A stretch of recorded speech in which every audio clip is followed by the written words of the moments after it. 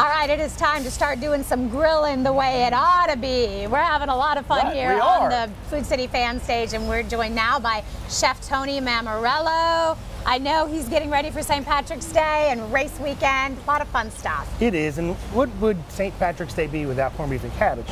You gotta have it. Gotta have it. We gotta have it, but we're racing, so we gotta do it a little different. Okay. You should know by now. I don't like to do anything. He's always outside Normal. the box. Really, he So- really does. So Which we could, love. We could do traditional corned beef and cabbage with just roasted potatoes. We're gonna do a little different. Okay. Instead of cabbage, we're gonna do Brussels sprouts. Ooh, Oh. So we're gonna do some sauteed Brussels sprouts with bacon and hot honey. Ooh, Instead of Hot our honey. traditional potatoes, we're gonna potato cakes. Nice. I love potato cakes. And then we're gonna do a Reuben. But we're not Okay. gonna do a little Reuben. We're gonna It'll be a do a big old Reuben. stack of a Reuben. We're gonna do a Reuben. Bitch. And I love a good Reuben, especially St. Patrick's Day. Nice way to do perfect that. time of year for it. So um, to start, we're actually going to take our Brussels sprouts, and all we did was take them, shave them really, really thin. Okay. We're going to throw them right on our hot grill. The hotter your grill, the better. They just take a little bit of time. We're not going to do anything with them except put a little bit of oil on the grill. Let them start to saute. Super, super simple and easy to work with. And I'm loving that you're using your grill here, the, again, the griddle. You said this really opens up opportunities. This is fantastic. Anything that you can cook in a cast iron pan at home, you can cook on this flat top grill. Okay. Um, about the only thing you can't do with it is boil water. Right. Other than that, no problems. So I have some mashed potatoes that I had left over from dinner, like everyone else does. I added a little bit of flour to them and some cheese. Okay. We're just going to put them right on our griddle. They should start to brown up. They'll heat up for us, and they'll make the simplest potato pancakes we'll ever try. I tell you what, that just brings back so many memories. It I think really for people, you shared memories, Oh, I yeah. shared My memories. mom, if we had leftover mashed potatoes, which was not often, Right. but if we did, she made potato cakes out of them, and it's wonderful. Simple way to work with it. It makes it really, really, really easy to do.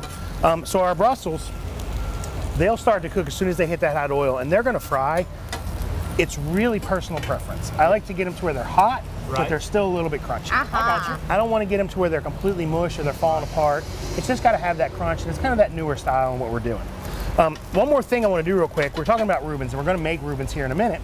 But I want to make a plate for you. Simple way to make kind of a snack or an appetizer Okay. is with some tortillas. All right. Nice. So we can do Reubens. They don't have to be the traditional way. We can simply warm up our tortillas. Uh-huh. We'll throw a little bit of corned beef right on our grill. We have our sauerkraut, our Swiss cheese, There and go. we'll make a tiny bit of a Reuben, Hold that for you.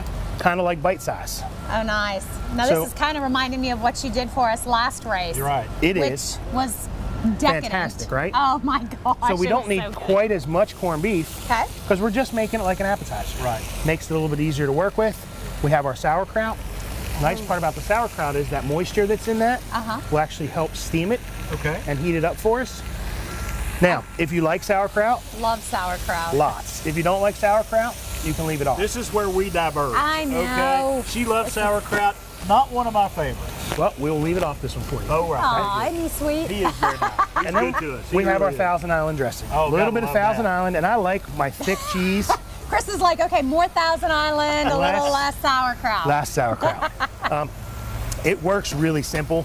And if you were having a party, if you're having a tailgate, if you want something quick, the faster this goes on this flat top, the sooner it heats Right. up. It works really, really easy to do.